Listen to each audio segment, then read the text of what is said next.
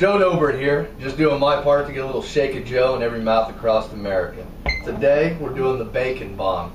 It's a it's a great piece. Bacon makes everything taste good. It's like fairy dust.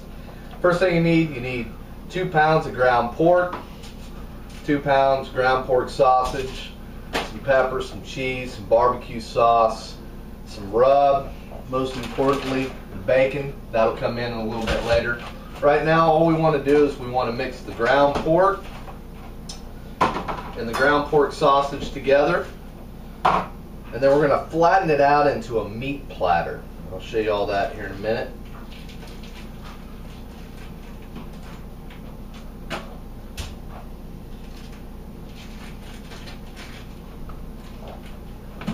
So we're just going to mix everything up. Mix the ground pork with the uh, the pork sausage.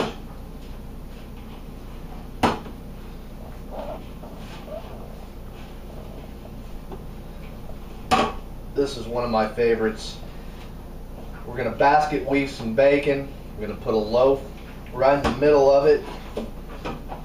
It is outstanding.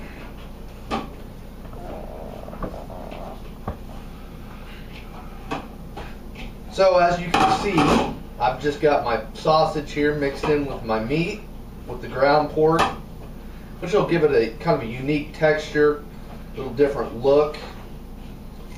Alright, I'm going to take the meatball here, and what works good is a square platter, and I'm just going to flatten this all out. Your goal is to get this to about an inch thick.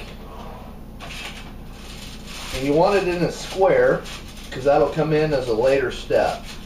We're just going to take it, work it around the edges here.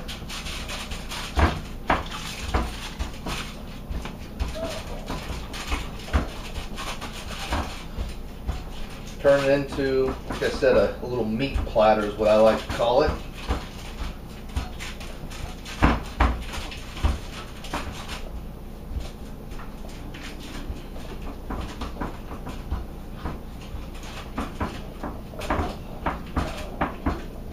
right.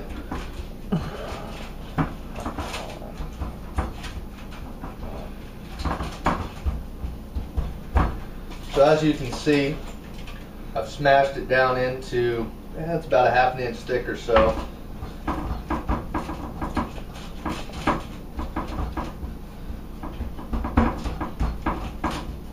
Now the next thing you want to do is put on some of your rub. Of course mine is Joe's Special Blend. Take it, spread it generously over.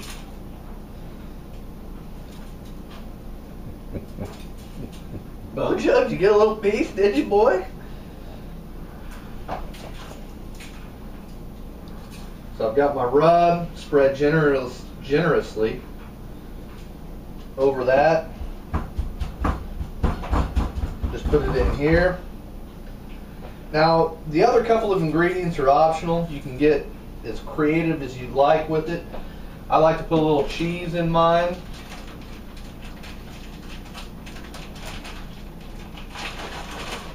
So I'm going to take some cheese, spread it evenly over here.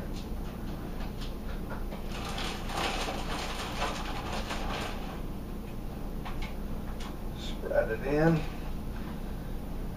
Then I like to go ahead and press that down into the meat. So that way when we roll it up for a later step, it isn't quite as loose.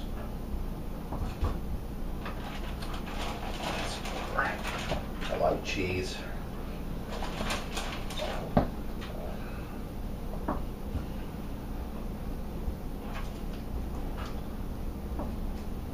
Okay.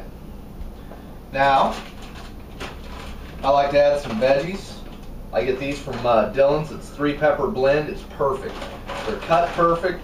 All you do is spread a little bit on there, add some color to it. They're green peppers, red peppers, yellow peppers, onion pe onions, yellow peppers, a little bit here. And again, what you're going to do, press that down into the meat.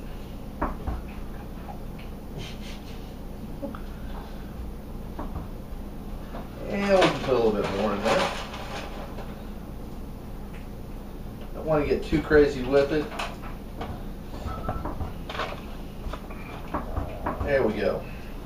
Now I'm going to add a little barbecue sauce. Again, that's optional if you want.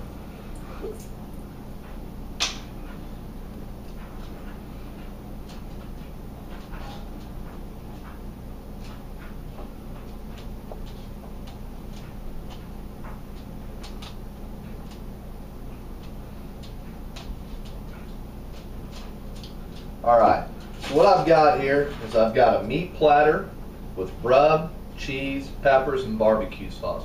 Now what you're going to want to do for a later step, I would put this in the freezer for about 45 minutes, almost to the point of freezing. And you'll, you'll see why when we get to that point. It's going to make it easier to roll. Other than that, give it a little firm press there. Put it in the freezer for about 45 minutes and uh, we'll be good for the bacon, the next step. All right, the next step we're gonna do is we're gonna do a basket weave on the bacon. Hey everybody, I'm back. Just put everything in the freezer. Now we're going to the next step, the fun step, and it's weaving the bacon. I like uh, using right, thick cut. Regardless of what type of bacon you use, you want thick cut. You're gonna stretch it out to the point of breaking because you want to be able to put the roast in it and then wrap it together. So I'm going to take each piece, and I'm just going to stretch it out here, just like so. Looks good, doesn't it, Mojo?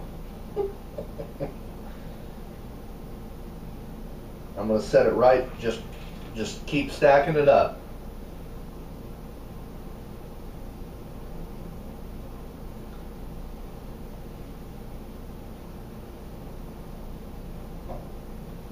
You're going to do that, and you're going to go all the way up. You're going to get about halfway through. I use four pounds of bacon, and uh, and then you're going to start the weave process after you get done with that. Okay, so I've stretched out the first layer here. I've got them all stacked up. Now we're going to do the weave part. And the way you want to do this is you want to start in the middle. You want to go over, and then you're going to do every other one. Okay? So I'm going to go just like this.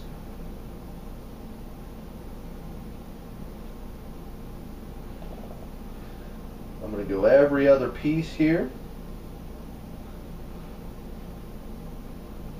Alright. And I'll take uh, another one.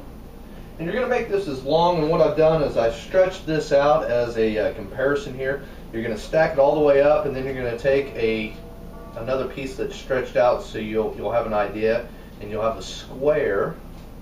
Mo, find some bacon? All right, now all I'm going to do is I'm going to stretch it lengthways across and uh, put it over like so. Okay, there's that. Now I'm going to go back and do the ones that I didn't fold this time. Just going to put it back through like so. Back, I'm folding it back over the, the piece that I just laid.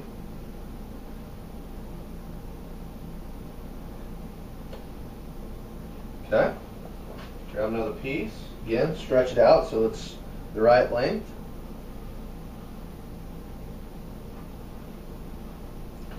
And this is doing a, a basket weave. I'll just lay it back over. And you're going to do that for the whole, basically the whole, uh, the whole bacon blanket, as I like to call it. This is so cool. All right, so continue doing on with that, and uh, I'll show you a finished product here in a few minutes. Okay, well I've got the first huff down. You can kind of see how it's making this checkerboard of bacon. It's, it's just really, really cool. So now I'm going to go on to the other side and uh, finish the basket weave. You can see here this was the very first strip of bacon that I put down and then I folded like I showed you there. So I've got one half down. Now I'm going to go back and do the other side. I'm going to fold them the other way now, back over that first slice.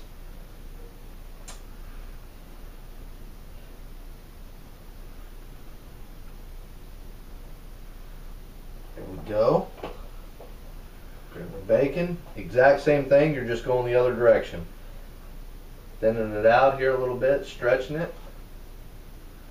Now I'm going to put it just on the other side.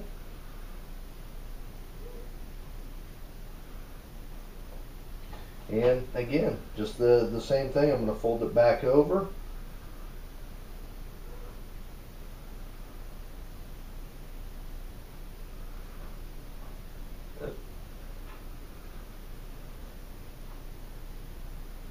Okay, and you're going to continue doing that until you finish uh, finish this whole side, and I'll show you a done done picture here in a minute. All right, everybody, this is the finished product, and uh, I tell you what, man, I, words are difficult to describe this side of beauty. It, it truly is. It's phenomenal. It's uh, it's magnificent, majestic. I mean, all in one. I, I've got a checkerboard of woven bacon that's going to be wrapped around a pork loaf and then smoked for four hours. So before moving on, I just kind of want to take in, take it all in. It's it, it's just uh, it's just fantastic. But uh, anyways, I hope yours looks as good as this. So right now we've went through three pounds of thick sliced bacon. You can see I've got the blanket here.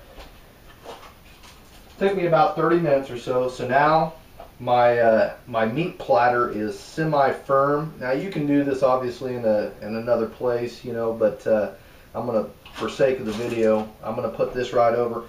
Now this is where the, the tin foil comes in handy in the frozen portion of it. Because what I'm going to do is I'm going to kind of roll this over a little bit and get it started.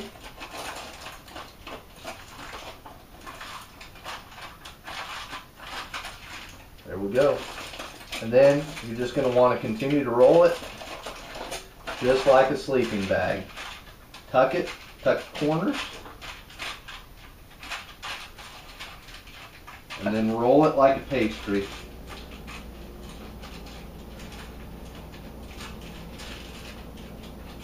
Be careful. You don't want it to go all the way through, but you want it kind of tight.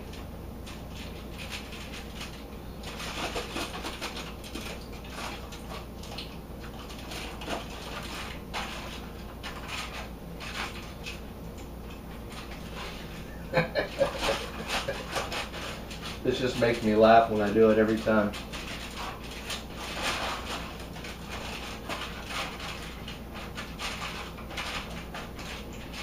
Go slow. You've got all this prep in it now. There's no reason in hurrying through it.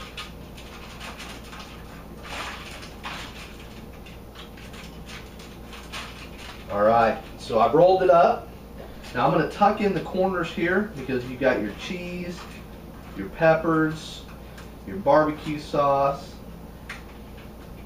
Now at this point you can put a little rub on there if you'd like. I'm not going to, but you can, you can pretty much dress it up however you want. You know, again, I'm going to go ahead and kind of pinch off these corners here a little bit.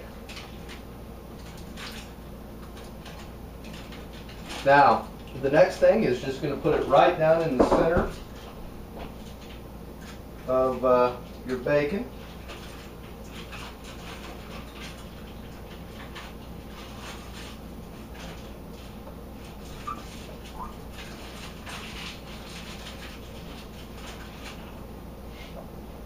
Look at this. This is just fantastic. So here's my uh, my loaf. I'm going to just set it right here in the bacon, right here in the center of it.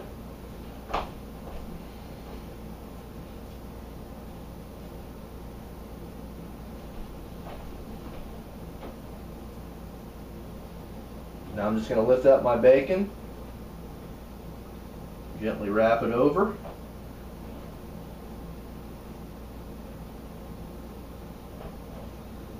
My bacon blanket.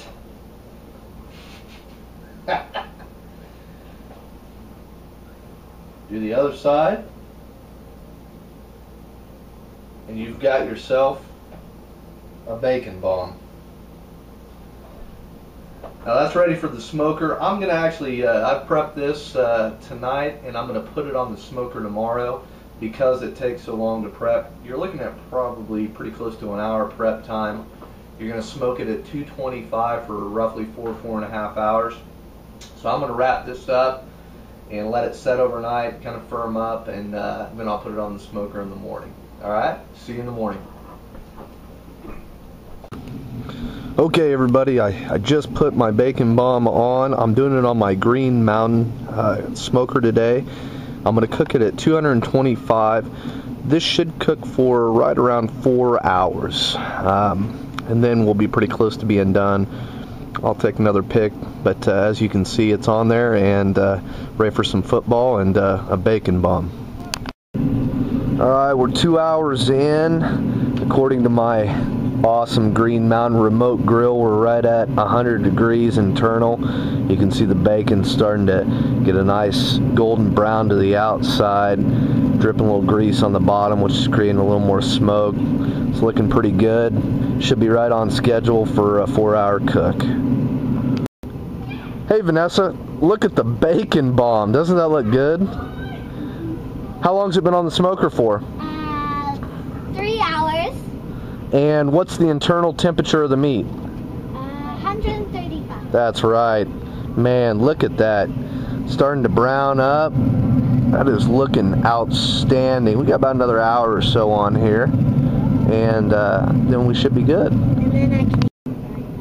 It is bright out here. Look at our bacon bomb, though. Is, is it done? Yeah, I think so. It's been on for four hours. It's reading 162. We're ready to pull it. We're going to let it rest for about 20 or 30 minutes. You ready to eat some of that? Yeah. Everybody, our uh, our bacon bomb has been sitting now for about 20 minutes. I let it rest. Now I'm going to cut it and uh, show you the boom. Oh, that's just glorious. Can we get a close up of that? that looks fantastic. All right, everybody, have a good day.